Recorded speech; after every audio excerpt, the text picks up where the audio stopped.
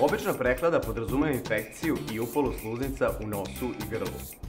To je virusno oboljenje pa nema svrhe koristiti antibiotike jer se koriste kod bakterijskih infekcija. Simptomi kao što su crvenilo i bol u grlu mogu biti prvi znaci prehlade. Da biste izbjegli prehlade, redovno perite ruke. Kada kijete i kašljete ne pokrivete nos i usta rukom, zato što se virusi lepe za vaše ruke i onda ih vi direktno prenosite na druge. Koristite maramicu i potom je odmah bacite. Ne dodirujte lice jer ukoliko niste znali, virusi gripa obično prodiru u vaše telo upravo kroz oči, nos i usta. Pijte dosta tečnosti. Provetravajte prostorije redovno.